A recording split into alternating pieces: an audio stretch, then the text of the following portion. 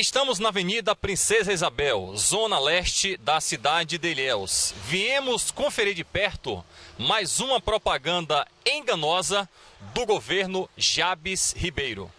Como vocês podem observar, existe uma placa identificando o início da construção do posto de saúde aqui do bairro no dia 1 de julho de 2013 e a conclusão da obra em 31 de dezembro de 2013.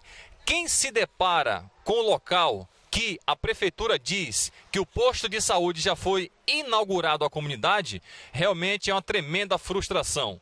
Buraco, lama, mato e o mais grave, o espaço está servindo como foco do mosquito Aedes aegypti.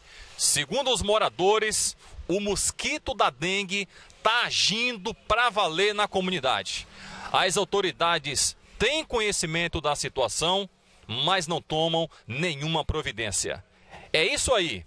O posto de saúde não existe o posto de saúde só na falácia. E os moradores da Avenida Princesa Isabel sofrendo com esse descaso. Aonde vamos parar com tanta imoralidade na cidade de Ilhéus? Abrão, a situação por aqui é lastimável. O posto de saúde não foi construído na atual gestão, a proliferação do mosquito da dengue tem aumentado a cada dia e realmente vocês aqui pedem socorro.